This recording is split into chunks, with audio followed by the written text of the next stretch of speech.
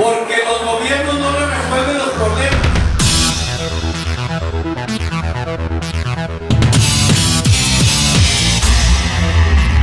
Los tiempos electorales cada vez se muestran más agresivos.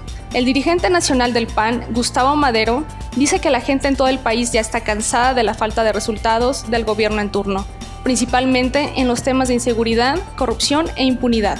No les gusta que no se resuelva el problema económico y que no haya empleo ni ingreso para todas las familias.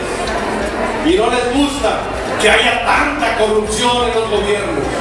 Además, en estos días, militantes van o vienen de acuerdo a ciertos intereses.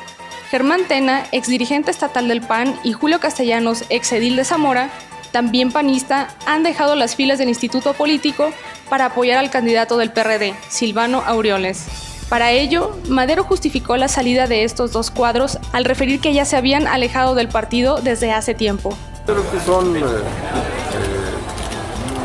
gente que se alejó del partido desde hace mucho tiempo y que hace oficial precisamente eh, hoy en la campaña para sacarle algún tipo de lucro político a esa decisión que había tomado ya eh, tiempo antes. Mientras la aspirante a la gubernatura, Luisa María Calderón, solo dijo que las puertas del PAN están abiertas para todos.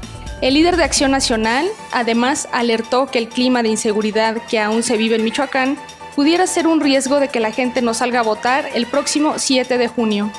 Riesgos es que la gente no salga a votar porque está molesta y que esta molestia no la manifieste de manera adecuada utilizando su voto como una arma poderosa para cambiar la situación.